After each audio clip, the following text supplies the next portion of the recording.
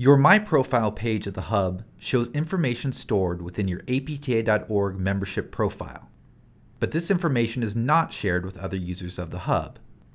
To view the profile information shared with other users of the Hub, click the My Page button. To update your profile information, go to your apta.org profile one of two ways. Either by clicking the Update User Profile button from your My Profile page, or by clicking Update Your Profile from the Hub homepage. These clicks will direct you to the Member Directory Community Profiles area of your apta.org profile.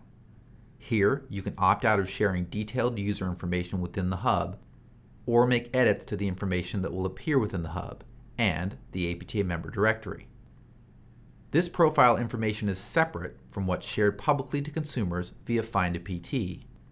If you're a physical therapist member of APTA, you can create or update your Find a PT profile from the Directory Profiles area within your apta.org profile.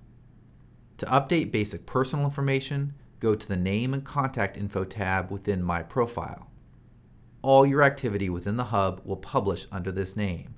You cannot participate anonymously or use an alias within the Hub. While you're in your apta.org profile, this is a good time to review your email preferences for APTA emails.